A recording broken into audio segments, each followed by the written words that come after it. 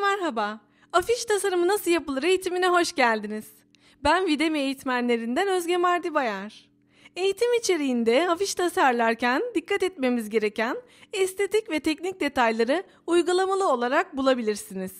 İlk olarak müzik konseri için afiş tasarımında kullanacağımız görseli Adobe Photoshop programını kullanarak düzenleyeceğiz. Ardından Adobe Illustrator programında metinleri, görseli ve kompozisyonun her parçasını tek tek tasarlayacağız. Son olarak da afiş tasarımını baskıya hazırlamanın püf noktalarını sizlerle paylaşacağım.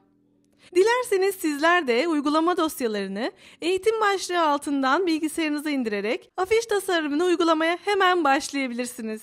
Videmi ile iyi öğrenmeler.